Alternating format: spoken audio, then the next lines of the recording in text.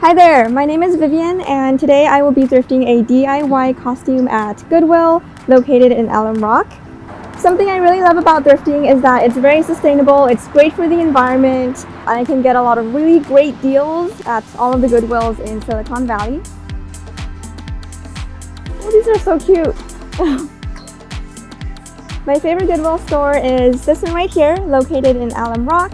This is actually one of the first Goodwills I ever went to and I bought a ton of picnic baskets. The first time I came here, they were all sorts of designs, lots of amazing qualities, different sizes, and they made for great props for my photo shoots. As a content creator, I love shopping at Goodwill because I can find a lot of affordable and quality items. I like to manifest my ideas and imagination in a physical space and capture that to share with my audience and Goodwill provides me lots of opportunities and lots of items to do that. Last time I came here, I actually did a fall clothing haul where I got a ton of fall boots, I got a ton of sweaters.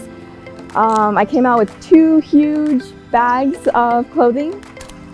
My best find at Goodwill would be one of the many Zara brand dresses that I got um, for about six to ten dollars. The original tag was still on, so I felt like that was an amazing steal.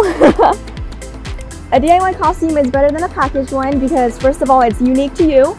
Um, no one else can ever replicate it. And a packaged one, you're gonna look the same as everyone else. And here I have thrifted two outfits from The Serpent for under $40 at Goodwill. And this is Monique's first outfit. And this is the second outfit from Monique from The Serpent. Thank you for thrifting with me today.